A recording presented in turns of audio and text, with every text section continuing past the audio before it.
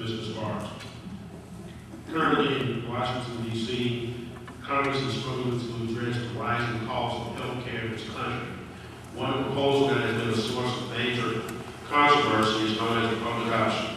Please discuss how you feel about the public option in general and what you would do specifically as governor to address the health care crisis in this country. You know, unfortunately, I'm not in Congress and I don't have the opportunity to vote on that issue, but I wish I was.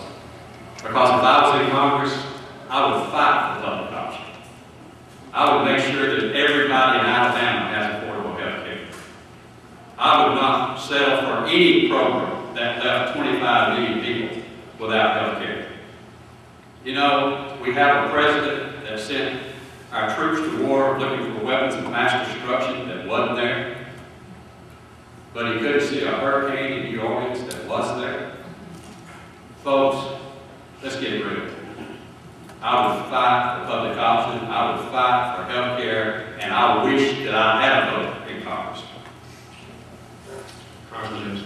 Ladies and gentlemen, remember the first question was about leadership. And I made the point that leadership is about saying the same thing to different audiences, even if the political perspectives may differ the people in the room. The first candidates forum in this governor's race was down on the beach at Point Clear, back on August 1st. All the Republicans were there, Commissioner Sparks was there, and a whole lot of very conservative businessmen were there.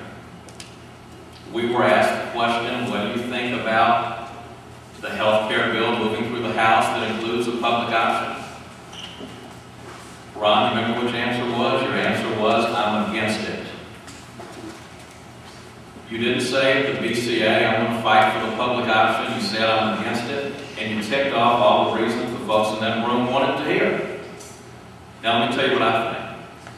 I'm where President Obama is. I think a public option could be one way to get us to universal access. Was the President said in the brilliant speech he made to Congress several months ago, it is not the only way, and we've got to find a way to get this right. I look forward to the House and Senate resolving their differences.